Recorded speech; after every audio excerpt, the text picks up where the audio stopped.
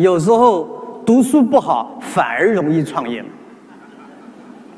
我送了几个同事到 MBA 去读书，结果两个人考试全没被录取。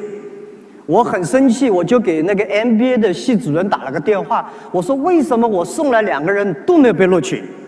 他说：“他们数学太差，考试都没及格。”我说：“如果考试及格，他们还会来读 MBA 吗？考试及格，他们还会去创业吗？他们可能当科学家，他们可能有很好的工作。所以我们这些人原来的很多 qualification 其实并不是那么 qualified。所以，在人们看来几乎没有可能成功的，我们走了十五年。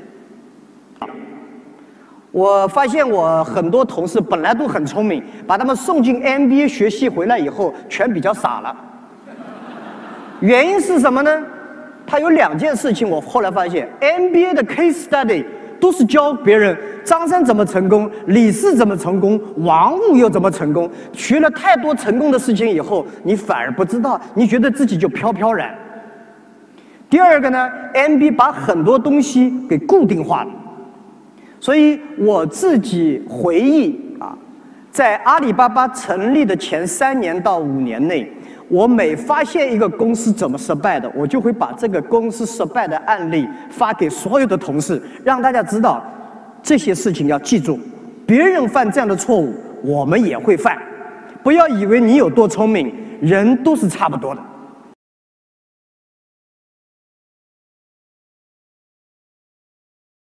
心里话，我们今天阿里巴巴的人一定比十五年以前要能干很多。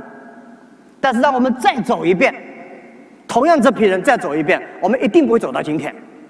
时代过去了，我在上个礼拜面试了八个年轻人，要准备自己创业。我们成立了个大学，叫湖畔大学，培养发现企业家。这八个人，我听了两个小时以后，我心里在发虚。我想，幸好我十五年以前干，要是现在干，肯定被他们杀得片甲不留。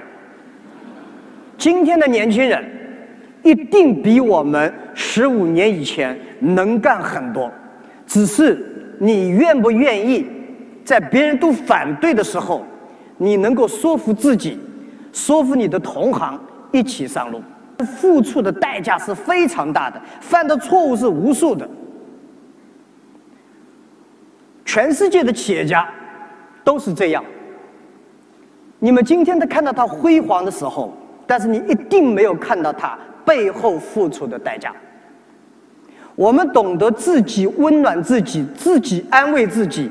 我们知道工资发不出的时候，那怎么办呢？我们发现我们自己只能开两千块钱工资或者五百块钱工资的时候，别人到你们公司来抢员工出五千块钱的时候，你该怎么办？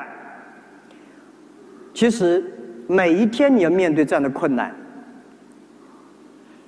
一直希望自己把公司做大了，也许我就不需要有那么多麻烦。我特别喜欢看香港这种电视剧上，老板什么事情都不干，雪茄烟抽抽，很气派的样子。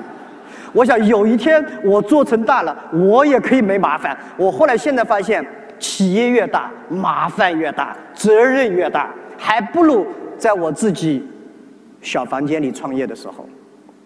每一个阶段都有自己独特。但是今天我另外来讲，又把自己想明白，能做阿里巴巴，能够给这么多人服务，能够做这样的事情，那是一种福报，是修来的。